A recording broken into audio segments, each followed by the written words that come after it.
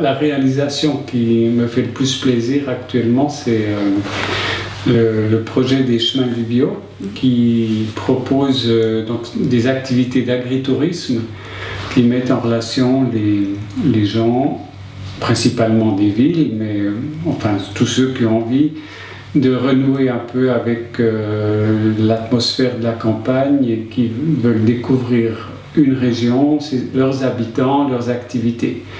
Et euh, ce projet-là, euh, qui a été subventionné par euh, la Confédération de canton du Jura,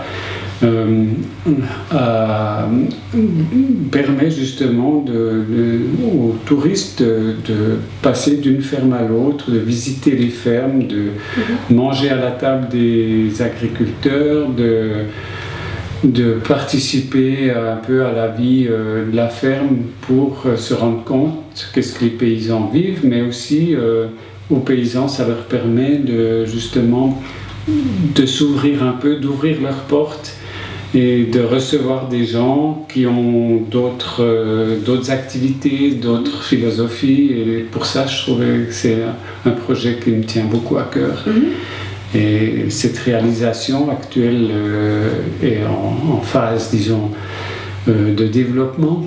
Et je pense qu'on a aussi pas mal d'intérêt de la part d'autres régions qui aimeraient faire la même chose. On a eu les Tessinois qui sont venus voir s'ils pouvaient reproduire ça. Des voisins français qui nous demandent si on pourrait se mettre en réseau avec eux. Mhm. Donc euh, c'est un projet qui, est très bien reçu par le public. Tout le monde nous dit que c'est un magnifique projet. Et on attend surtout euh, beaucoup de gens pour le mhm. faire vivre. Sympa.